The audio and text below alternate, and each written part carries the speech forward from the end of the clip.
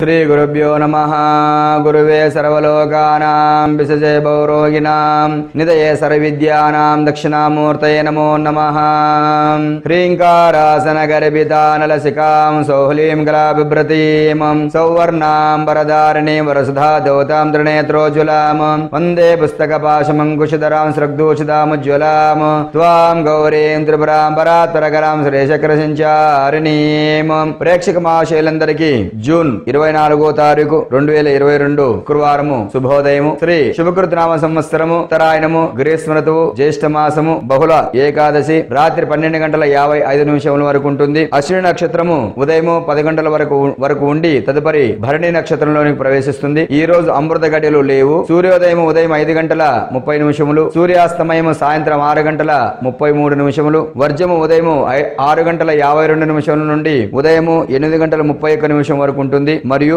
రాత్రి ఎనిమిది గంటల యాభై ఐదు నిమిషముల నుండి రాత్రి పది గంటల ముప్పై నాలుగు నిమిషముల వరకు ఉంటుంది. దుర్ముహూర్తము ఉదయం ఎనిమిది గంటల ఏడు నిమిషముల నుండి ఉదయం ఎనిమిది గంటల యాభై తొమ్మిది నిమిషముల వరకు ఉంటుంది. మరియు మధ్యాహ్నం పన్నెండు గంటల ఇరవై ఎనిమిది నిమిషముల నుండి మధ్యాహ్నము ఒంటి గంట ఇరవై ఒక్క నిమిషం వరకు ఉంటుంది. రాహుకాలము ఉదయం పది గంటల ముప్పై నిమిషముల నుండి ఉదయం రాహుకాలము ఉదయం పది గంటల ముప్పై నిమిషముల నుండి మధ్యాహ్నం పన్నెండు గంటల వరకు ఉంటుంది. గులిక కాలము ఉదయం ఏడు గంటల ముప్పై నిమిషముల నుండి ఉదయం తొమ్మిది గంటల వరకు ఉంటుంది. యమగండము మధ్యాహ్నం మూడు గంటల నుండి మధ్యాహ్నం నాలుగు గంటల ముప్పై నిమిషాల వరకు ఉంటుంది. విశేషంగా ఈ రోజు ఘాతవారమైనటువంటి రాశులు వృశ్చిక రాశి ధనస్సు రాశి మీన రాశి. ఈ మూడు రాశుల వారికి ఈ రోజు ఘాతవారం కాబట్టి వీరు ఇలాంటి కొత్త పనులు చేయకుండా ఉంటే బాగా ఉంటుంది. అలాగే శుక్రవారం రోజున శుక్రగ్రహానికి అత్యంత ప్రీతిదాయకమైనటువంటి రోజు ఈ రోజు. కావున శుక్రవారం రోజున శుక్రగ్రహాన్ని ప్రీతికరంగా కిలోంబావ చొప్పున సద్రాహునికి తెలుపు రంగు వస్త్రంలో గాని పసుపు రంగు వస్త్రంలో గాని బొప్పర్లు దానం చేయడం వలన పత్ని పీడోపశాంతయే శత్రు పీడోపశాంతయ అనగా యజమాని యొక్క భార్యకి లాంటి అవరోధాలను కూడా తొలగిపోతాయి.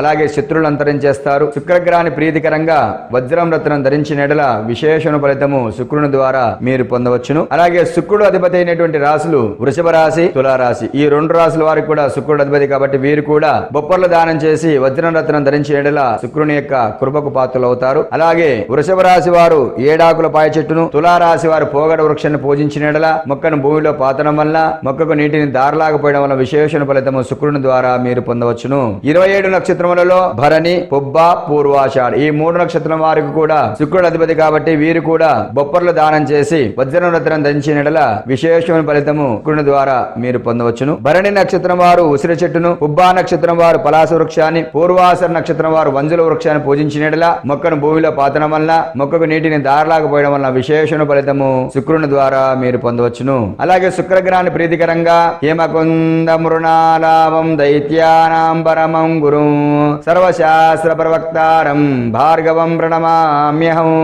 యొక్క శ్లోకాన్ని ప్రతినిత్యం ఎవరైతే జపము గాని ధ్యానము గాని చేసుకుంటారో వారికి శుక్రుని యొక్క అనుగ్రత బాగా ఉంటుంది. భార్యాభర్తల మధ్య సరైన అవగాహన బాగా ఉంటుంది. గమనించగలరు. అలాగే శుక్రవారం రోజున దేవీ దేవతలకు అనగా మహాకాళి మహాలక్ష్మి మహాసరస్వతి స్వరూపినైనటువంటి అమ్మవార్లకు ఎవరికైనా కూడా ఉదయం పంచామృత అభిషేకాలు జరిపించండి. అమ్మవార్లకు ప్రీతికరంగా కుంకుమార్చన జరిపించండి. ఇబ్బందులు కష్టతరమైన జీవితాన్ని గడుపుతున్న వారు లలితా సహస్రం పారాయణ చేసుకోండి లేదా దేవి భాగవతం చదువుకోండి లేదా చండీ పారాయణ గాని చండీ హోమం గాని జరుపు జరిపించుకున్నడలా ఇలాంటి గడ్డు సమస్యలను కూడా బయటపడి అమ్మవారి యొక్క కృపకు పాత్రలు అవుతారు గమనించగలరు. అలాగే శుక్రుడు అధిపతి అయినటువంటి రాశులు వృషభ రాశి తులారాశి ఈ శుభకృత నామ సంవత్సరంలో జూన్ మాసనందున వృషభ రాశి వారికి గ్రహ సంచారం అనుకూలంగా ఉండడం వల్ల చేవృత్తి వ్యాపారాలను కూడా బాగా కలిసి వస్తాయి. అనుకూలత బాగా ఉంటుంది రావాల్సిన బాకీలు వసూలు అవుతాయి ధనాదాయానికి ఇలాంటి లోటు ఉండదు ఆర్థిక సమస్యలు ఉండవు. అలాగే ధైర్యంగా ముందుకు వెళ్ళగలుగుతారు. రాజకీయంగా పలుకుబడి బాగా ఉంటుంది. కుటుంబంలో అందరూ మిమ్మల్ని చూసి గౌరవించగలుగుతారు. అలాగే